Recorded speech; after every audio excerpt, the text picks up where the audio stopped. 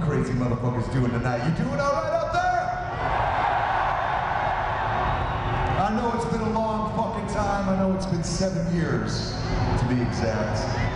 But goddamn it, Slipknot is back in fucking Cardiff. Are you glad to fucking see us out there? Wait a minute, wait a minute. Where are my manners? Shemai, my friends. We fucking good shit for you tonight, motherfuckers, but I need to know right now, are you ready to have a good fucking time with Slipknot tonight? Let me fucking feel it in my chest. Are you ready to have a good fucking time with us? And we would like to give you another song off of Point Five, The Gray Chapter. Make some noise if you have that album here tonight. Then step inside and see the devil in I.